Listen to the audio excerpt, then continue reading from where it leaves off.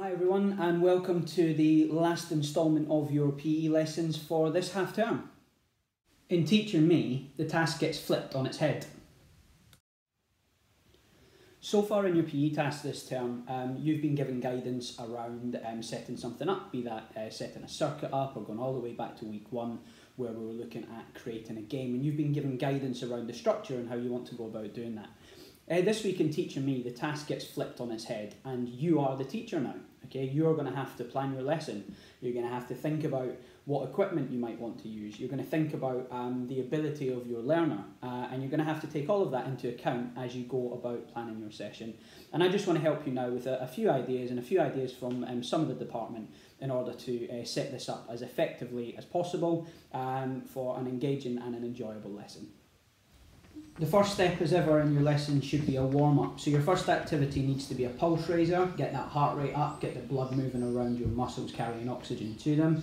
The next step is dynamic stretching. Um, not only is this going to stretch the muscles and continue to warm your body up, but we can start to prepare our muscles and our joints for the type of movements we're going to be doing and also prepare mentally for our session. Hi guys, just a couple of tips from me for when you're planning your Teacher Me activity. Um, try thinking about maximising the activity time for your pupils while still keeping it fun, exciting and engaging. Uh, keeping your instructions short and sweet is going to help you to do that. Enjoy!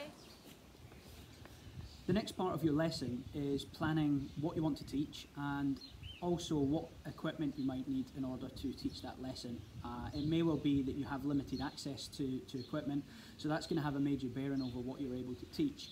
However, you'd be amazed at how creative you can be creating games with one ball or, or access to minimal equipment. However, if you don't have anything, um, then there are so many apps out there now that we can use uh, in order to, to create some competition, to have some fun, uh, and also to help keep you fit and active. How do you get people to engage in your lesson? A tip from me would be to include a competitive element, whether it's trying to get them to beat their score or a set score or alternatively, if you've got more than one participant, maybe get them to compete against each other. When you're planning your task uh, and your lesson, you're also going to have to take into account the ability of your performer. You might uh, set up a task that uh, one performer finds incredibly easy, um, leading to boredom uh, and a lack of challenge. Yet the same task uh, might be way too challenging um, for somebody else um, and just you know, really demoralise that, that performer because they're not able to get out anything out of the session. So you need to think about how you can play around um, with similar tasks in order to um, make the task achievable, uh, but also to, to challenge uh, those more able performers.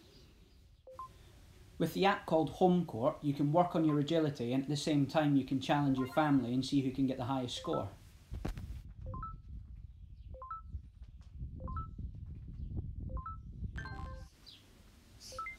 The HomeCourt app allows us to differentiate our lesson by changing the movements, uh, by changing the intensity that our performer is going to have to work at. Um, so for your more able performer or after a period of time once you see that your performer's improved, we can keep challenging them.